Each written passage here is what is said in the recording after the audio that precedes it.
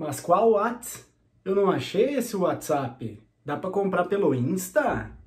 Fala galera, tudo bem com vocês? Gente, tenho novidades do Instagram aqui para trazer para vocês. Agora é possível fazer uma ligação direta entre seu Instagram e o seu número de WhatsApp.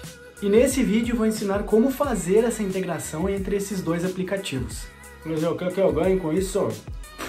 E claro, vou mostrar também as vantagens de ter esses dois aplicativos sincronizados. E se você não é inscrito no canal, já aproveita e clica aqui no inscreva-se e ativa o sininho para não perder nenhum conteúdo. Já deixa o like aí no vídeo e vem comigo!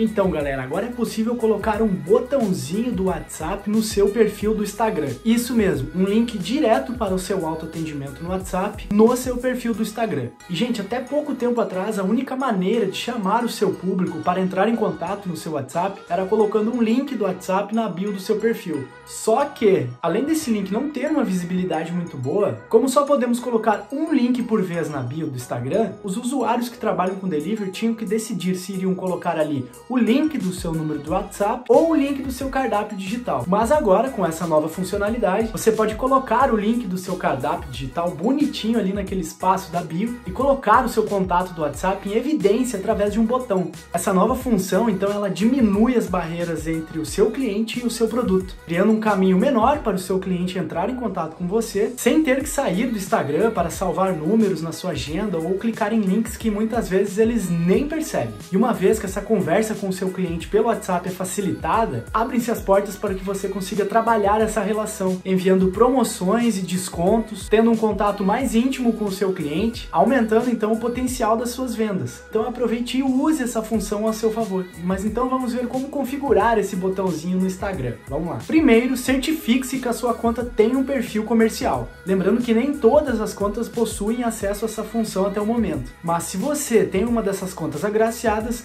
preste atenção nos próximos passos vai ser bem fácil. Acesse o botão editar no seu perfil do Instagram e depois opções de contato. Logo em seguida você já consegue visualizar a opção do botão do WhatsApp.